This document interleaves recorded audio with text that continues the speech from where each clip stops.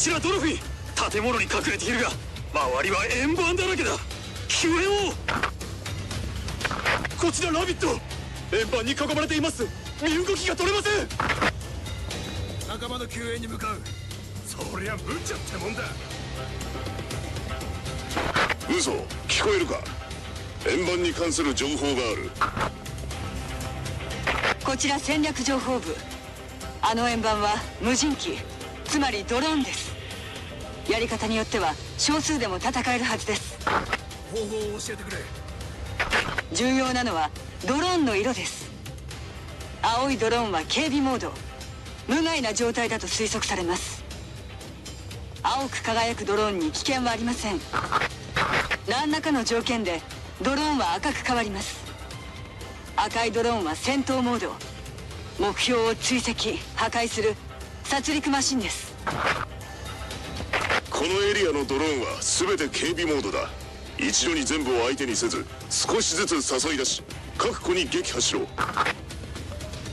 この方法なら十分に勝機はある。一刻を争う。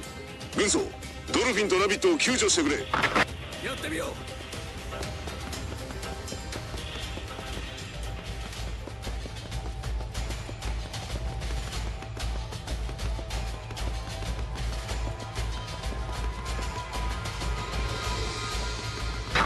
青は警備モード。赤は戦闘モードです。所詮は機械だ。からくりさえ分かってしまえば戦いようはある。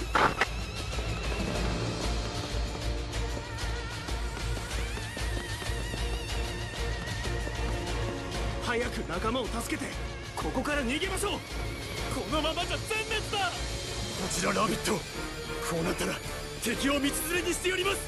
行くぞ敵に接近してきます感謝します。でもなぜ民間人が？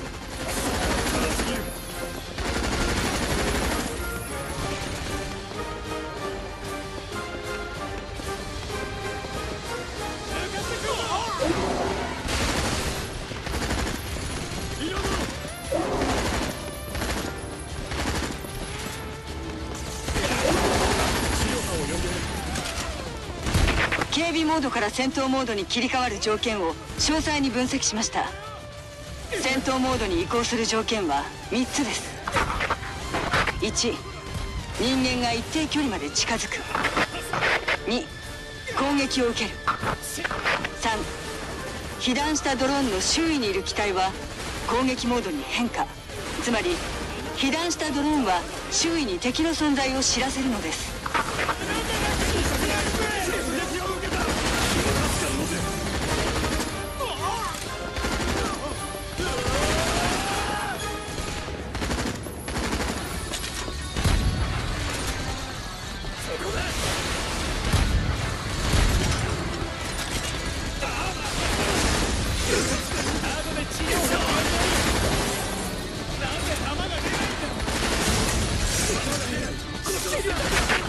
いいぞ軍曹。残りのドローンも破壊しろ。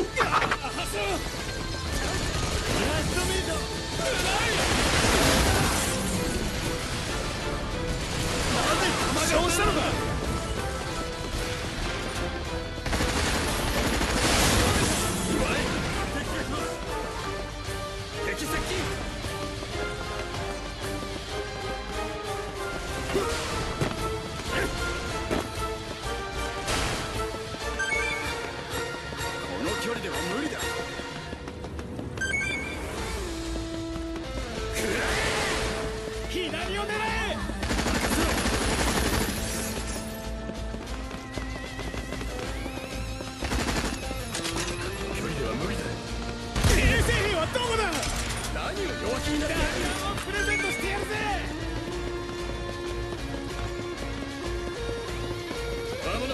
もなく敵の射程内です。戦えますよ。頼りにしてください。いよいよってわ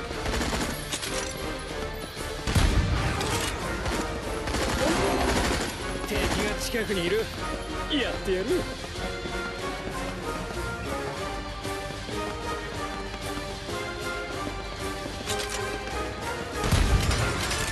俺は大丈夫。震えてないぞ落ち着け。落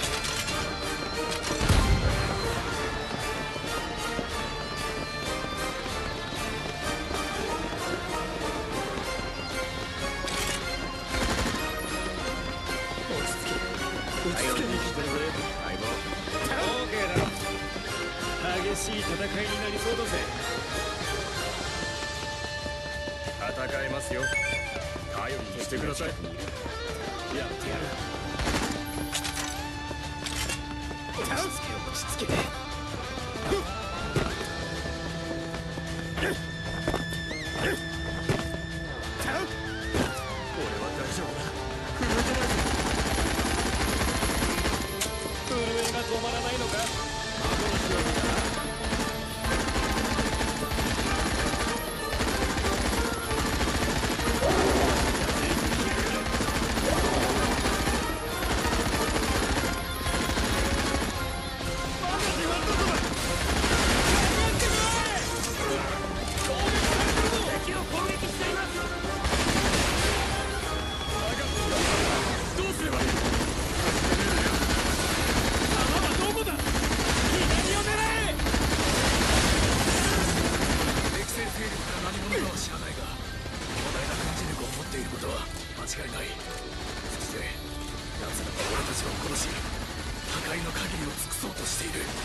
そんな奴らには関わりたくねえ。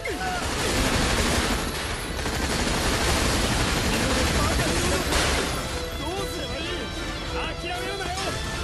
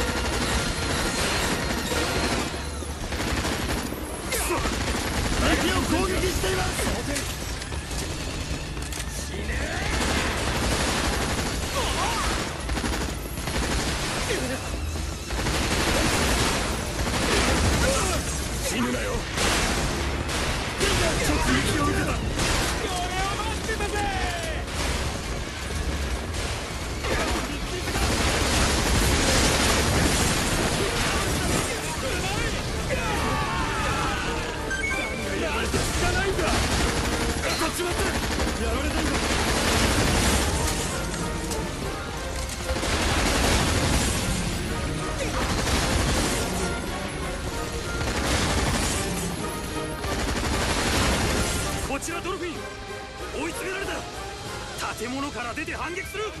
救援部隊はまだか。そうだ。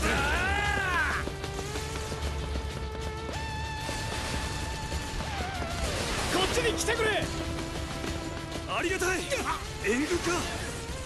だが民間人がいるのはなぜだどうすれば何を弱気になって私は EDF 総司令官。だこれより重要な情報を伝える。現在 EDF は敵性勢力との交戦状態にある。我々は先制攻撃を受け多くの基地を失った。それだけではない。敵は大都市に怪物を投下。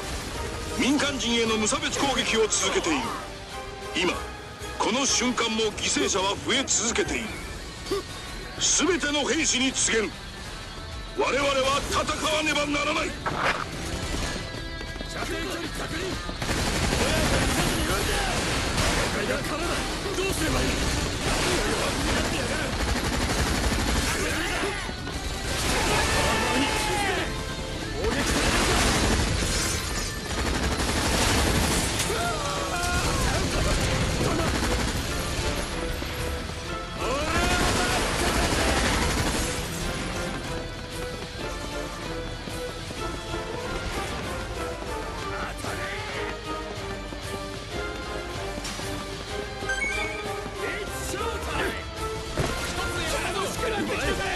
遠すぎる